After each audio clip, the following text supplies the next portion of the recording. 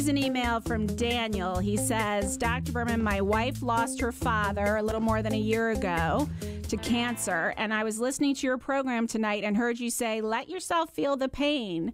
And after about 45 seconds, the pain will start to let go. I think a lot of the time my wife swallows her pain so as not to cry in front of me or our small children. Thank you for your advice, and I'll be sure to pass it on to her. Do you have any other advice on how to cope with death and what I can do to support her?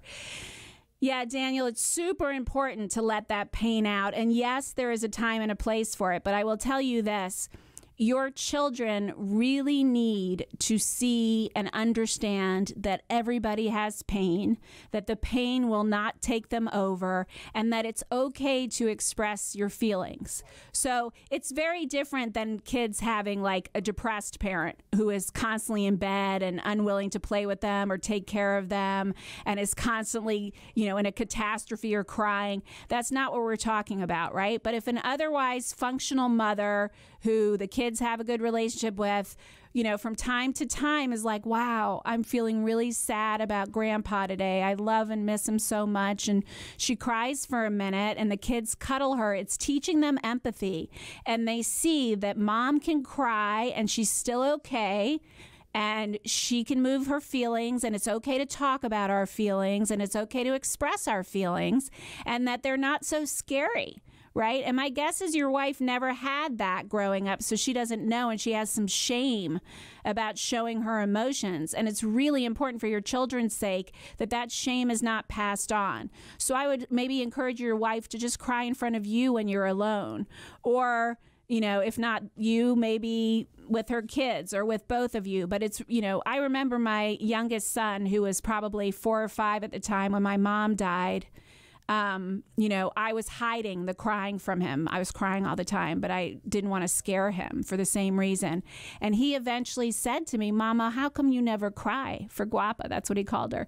And, um, you know, ever since then, whenever I'm sad or upset, I cry if I happen to be with him. You know, it's not like I flip out, but I say, I'm feeling really sad. I miss my dad today or whatever. So I think that's important. I also think it's really important for, especially for someone like your wife, to do some grief work um, with with a grief counselor. So try to help her find a grief counselor or a grief group. My guess is a grief group would be a little bit harder for her because she's so private about it.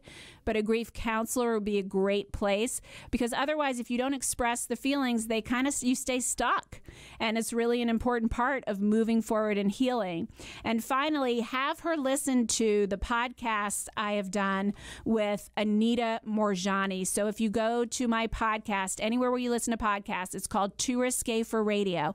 And look up my podcast. I did, I think, more, at least one, pro- probably more than one, with Anita Moorjani, who is amazing. And she actually died and came back. And she wrote a whole book, which was one of the most healing things I read after my mom passed away, called Dying to Be Me and we talk about it on this podcast. And I would even get that book or get the audiobook because Anita has a beautiful accent and she reads it.